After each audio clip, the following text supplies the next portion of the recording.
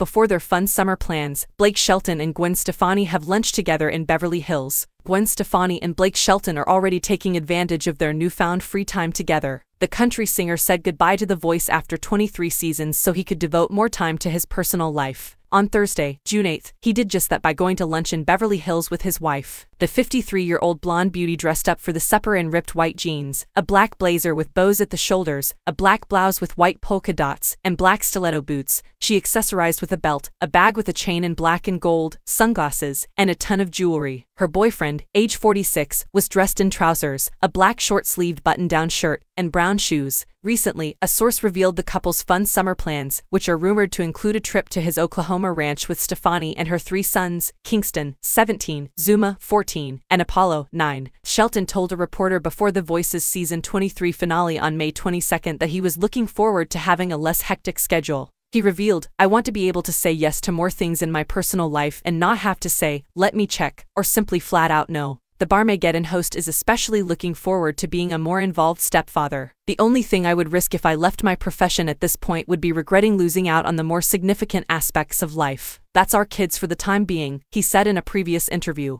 This isn't about me anymore, and it never will be about me again. The children view me as a very significant figure in their lives. Why isn't Blake here? They inquire I take that information seriously, Shelton said. I've made a lot of money, but time cannot be bought. I want to be regret-free.